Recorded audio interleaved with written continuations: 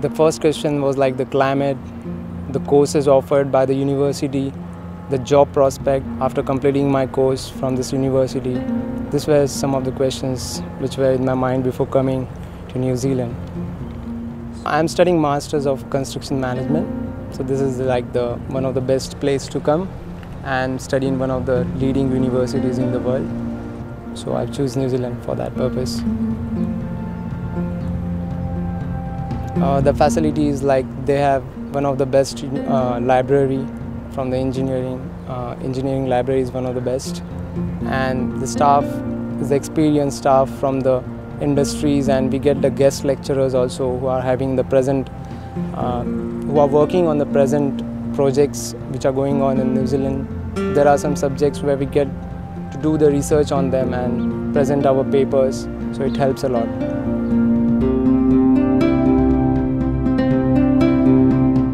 Uh, the engineering faculty is having the like the career hub uh, from where we get the support for getting a job. And there are a number of career recruitment companies coming in the campus. So we attend that and through that we can apply to the company and get a job easily.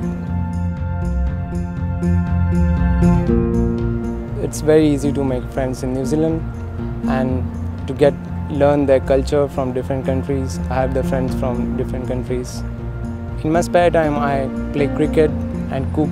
Uh, I like to cooking food with my friends on Saturday and Sundays, like the weekends.